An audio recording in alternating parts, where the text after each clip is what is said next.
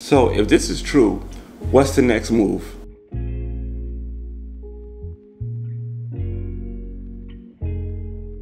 Alright, what's going on y'all? It's your boy Leron and I'm back with another video. You see the thumbnail, you see what this video is about, but before we get into this video, I want to say what's up to my subscribers. Also, if you're new to the channel, welcome, and if you are new, please consider hitting subscribe because on this channel, I do thought-provoking videos such as this one.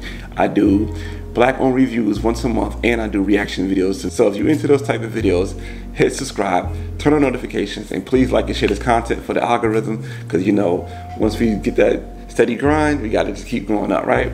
Uber, Uber is under backlash right now. Like what? Uber, what Uber doing? So Uber under backlash because there was a picture that came out on Twitter, and it was a picture of a white hand and a black hand.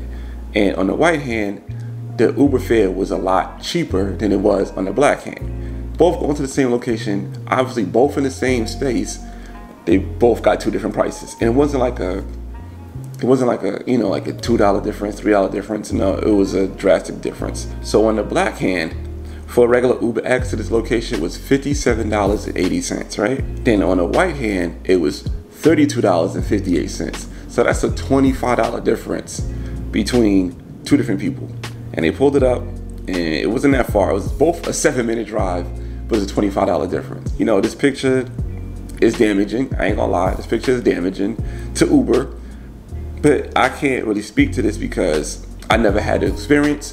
But there were other people on Twitter that seen this picture and they was replying and saying they had the same experience, not only with Uber, with Lyft as well, and Airbnb, saying that this is something not new. This is an old thing. Like people really go through this. They have to just they post their things up. You know, they they get a ride and the ride difference is different in price according to race. And Uber came out with a reasoning or an excuse, whatever you want to call it, a reason or excuse. But the reasoning was, you know, it was surcharges. So surcharges change in real time. So they're saying that, yeah, your seven minute ride could be $52. Maybe they, they're applying like maybe she looked it up first, right?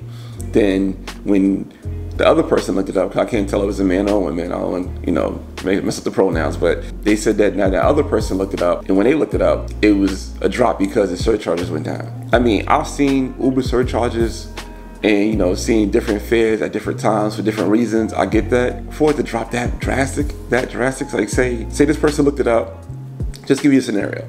Say this person looked it up they're like damn that's pretty high. They're like all right let me see how I look at my phone how long would that take for another person to pull up an address on uber? What? Say 90 seconds. So you're trying to tell me it's a 90 second surcharge drop for $25 you know that sounds kind of fishy. That sounds kind of fishy. Who knows? You know i'm not going to say that this person is lying, or I'm not gonna say that Uber is lying about the surcharge thing because there's a lot of different variables in it, and I really can't speak on it. So, you know, just give you another variable. What if this person just wanted to go viral and they pull something up, then they just screenshot it say, okay, this is how much this costs now, and they wait half an hour and they do it again, and now it's a different price. So I don't know if that's the case either, right? You have to play devil's advocate. It could be that too. You never know what people motives are. I'm not saying that these people are trying to become viral or whatever, but people do things and become more popular, right? So it could be that as well. But like I said, there were other people on the thread saying the same thing, like, this is not new. I've seen this before. Me personally, I can't speak on it. You know, only time I really use Uber is if I'm traveling, like say I go to an airport and I don't have a car to drop off, or like say when I went to Puerto Rico, it was cheaper for me to get an Uber than it was me to get a rental because I was just Ubering everywhere and it was a lot cheaper. So it was cheaper for me to do that, right? And, and plus, I can't speak to it too because when I do be around people of other races, I usually drive, or if we do an Airbnb, I don't do Airbnb. So like, I won't get an Airbnb with other people, other races. I'll just get a Marriott. You know, I'll stay at Marriott. So that's my thing. I like to stay at a Marriott. So I'll stay at a hotel, and if they stay in a hotel, usually the price is just about the same. It's, it's not identical. Like the prices are identical. So it's not like no crazy surcharges, not like that. You know, that's the thing, man. I don't know. I don't know if that's a, I don't know if it's a thing or not. I'm not going to say it is. I'm not going to say it's not. But I'm saying that this is a bad look for Uber. And what I think is going to come out for this, I think Uber is going to do one of two things. One, I think Uber just going to let it blow over, and people won't forget about it because we do have short attention spans. So once it's blow over, it's a wrap. You're going to let, leave it be. Or I think it's going to be Uber going to go on a crazy apology tour and just want to be you know, super duper woke and be like, all right, we gotta just cover this up and make sure this look good. You know what I'm saying? It could be one of those two things. But leave in the comments, man, what y'all think is going to happen. What y'all think is going to be the super duper woke apology tour, or you think Uber's going to let it blow over?